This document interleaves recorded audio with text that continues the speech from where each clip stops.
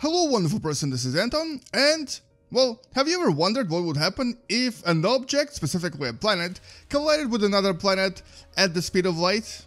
What would actually happen scientifically? In this video you're going to find out and we're going to simulate this in Universe Sandbox. Welcome to What Da Math.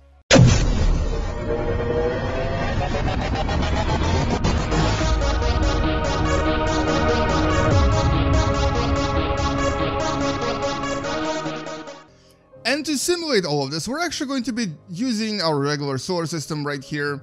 And we're basically are going to slow down time and pick an object and imagine that something is going to collide with that object at the um, velocity close to the speed of light. Not exactly the speed of light because it's just impossible to travel at that speed, but we're going to go with like 0.99999 uh, velocity of the speed of light. And let's actually maybe pick Jupiter to start with. So let's just imagine that a planet from the outside of our solar system is going to collide with Jupiter at an extremely fast velocity. Now, uh, the chance of this happening is very, very low, but it's not impossible. As a matter of fact, um, an object such as a planet or any kind of a mass, I guess, an asteroid or a comet, could technically reach a velocity close to speed of light if it passed by not one, but two supermassive black holes. So if an object actually passed close to these two supermassive black holes that are basically Sagittarius A star, it would actually reach a velocity very, very um, close to the speed of light. So it is theoretically possible. And if such object then is propelled into the rest of the galaxy, so basically if this object leaves the two black holes that just passed by and starts sort of flying into the galaxy, uh, there's a slight chance that maybe at some point is going to encounter something that is going to collide with. And for all we know, this could be a planet, and for all we know, this actually could be Jupiter. So that's our sort of setup for the scenario. So let's actually maybe try to simulate this. And we're going to go back into our solar system. And this, of course, could happen to any of the objects in our solar system. But I just decided to pick Jupiter because it is the most massive planet and it's also the one that is going to create an interesting array of fireworks for us. Uh, it could also be the sun, obviously, because that's the most massive object in the solar system. But in the game, the sun doesn't actually create that cool of effect if you collide things very fast with it. So here, let's go at the time of about one second per second. In other words, it's going to be practically real time. So we're going to maybe pick a planet. And I think just for the sake of simplicity, let's maybe pick uh, one of the planets from our solar system. Like, for example, Neptune, which would probably uh, represents one of the more common types of planets we've discovered so far, the so-called um, ice giants or super Earths.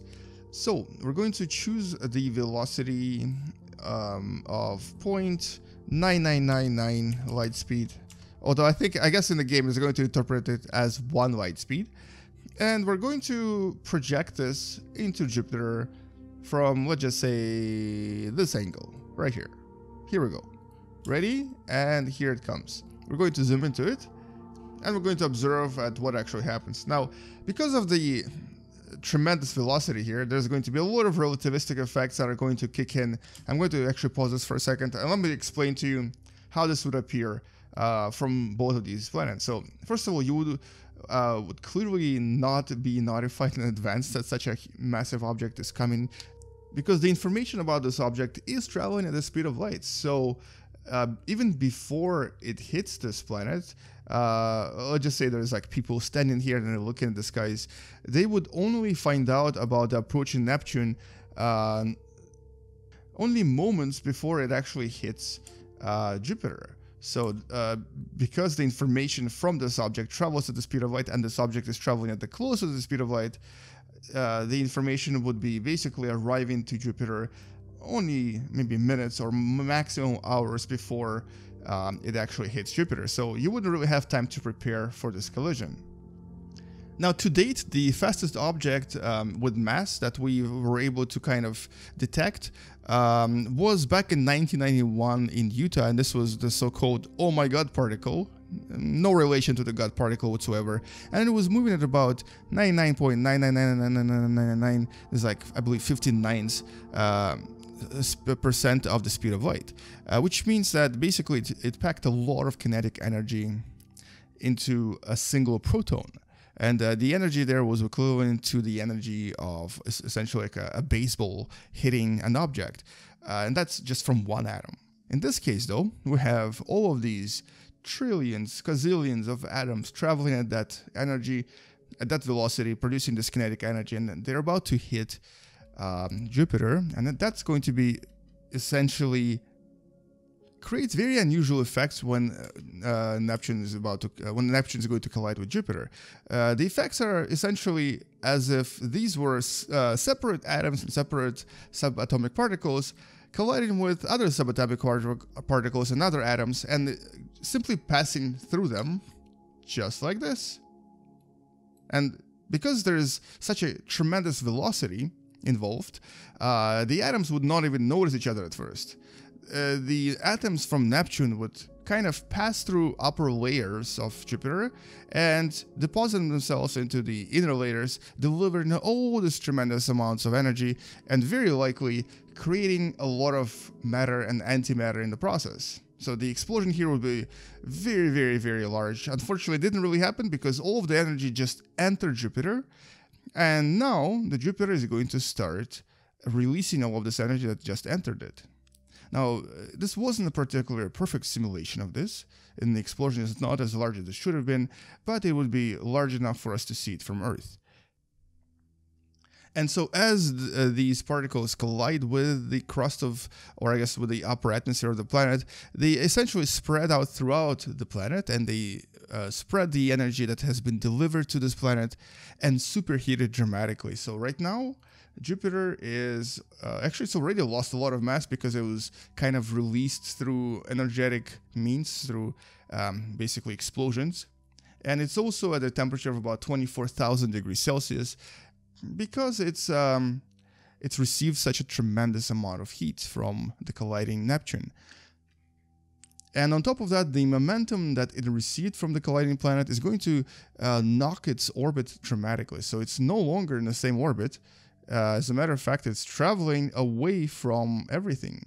It's traveling. Where's the sun? Let's find the sun. Uh, yeah, so there's the sun. It's actually traveling away from the solar system at the speed of about 29,000 kilometers per second. So it's going to be leaving the solar system completely.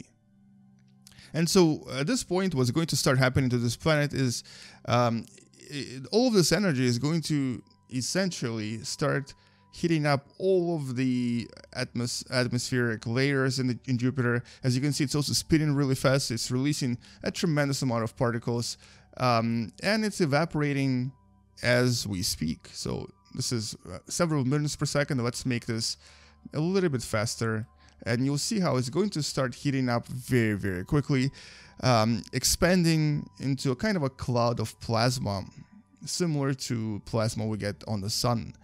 Uh, and just as you saw previously, there there's going to be a very large streamer, kind of energetic streamer that was expanded away from the planet. There's actually one right here as well, and that's um, uh, opposite of the collision that the object received. And this uh, this particular streamer is going to extend from the far side of the impact into space and release a tremendous amount of matter that is going to be superheated as well. And so at this point, only a few minutes after, Jupiter is ridiculously hot, the streamer is right there, and it's losing quite a lot of mass. It's actually releasing a lot of mass into space, and a lot of this mass is also released through various other means. Uh, like, for example, um, much of this mass was lost due to the um, similar effects we detect in the um, particle colliders. So if two atoms collide at very high velocity, they will actually turn into energy and potentially release a lot of other exotic particles as well, which is actually what would happen on tremendously large scales um, with this particular object as well, or in this case with Jupiter. So our mass is slowly dropping. It's actually already lost two more Earths since I kind of opened this window. And as you can see, it's it's actually significantly shrinking. If I accelerate time a little bit more and make it like uh, days per second, four days per second, you'll see that it's shrinking and becoming smaller and smaller because all of this mass is, is just evaporating into space. All of the energy it's releasing is because it's so hot right now. It's ridiculously hot uh, because of all of this energy that was delivered from the Neptune that was traveling at the speed of light. Um, all right, so something is funny happening with the mass here, so we're gonna close that. Um, but basically, after maybe only a few months, you'll see that, there we go, it starts shrinking, it turns into a very small object. At this point, it's only uh, a few times bigger than the largest asteroid, and it's dropping in radius and evaporating completely. So there is our Jupiter, sort of like pulsating with the remains of the matter that is still being released. And all of this matter will eventually be deposited somewhere else outside of the solar system. And as you can see, it's sort of like a ghost now. It's a ghostly Jupiter that's just left there. And it still has quite a lot of energy to release, and so all of this energy will eventually be released into outer space. And that's it. The Jupiter is gone. Now, this is not exactly uh, the most realistic re representation of this scenario, but um, in reality, anything colliding with anything else at the speed of light is very likely going to just turn into energy. And if it's a large enough object, like if it was, for example, Earth and Mars, uh, a very similar effect would occur. So colliding Earth with Mars at the speed of light, let's just make decelerate this a little bit more, um, is going to, okay, first of all, it's going to create these large chunks of stuff, but it's going to essentially do practically the same thing.